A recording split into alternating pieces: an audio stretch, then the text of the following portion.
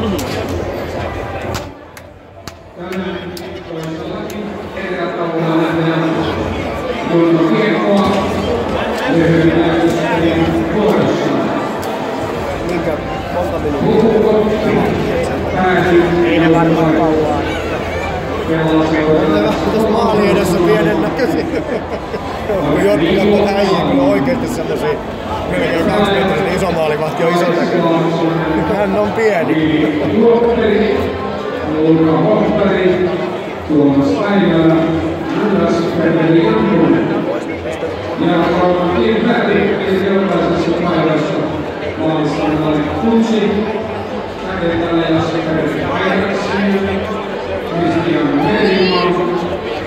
嗯好的好的好好好好好好好好好好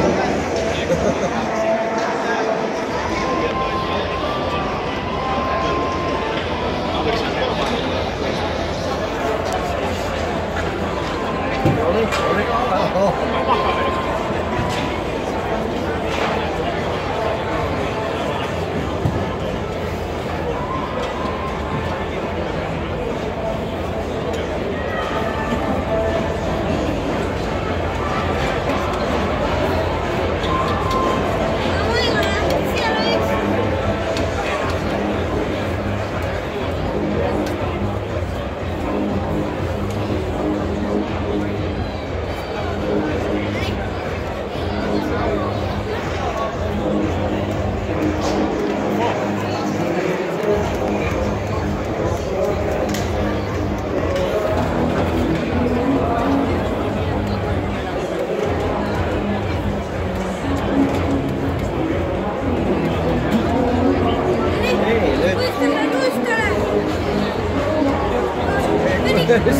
Yeah.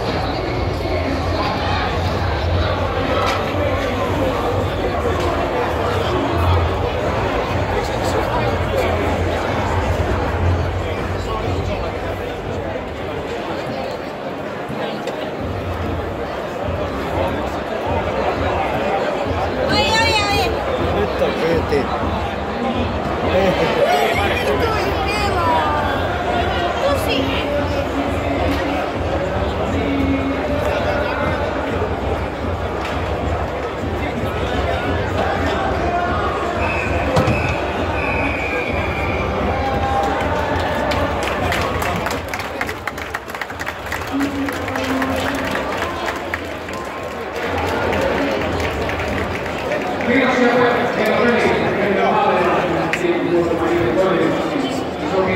you.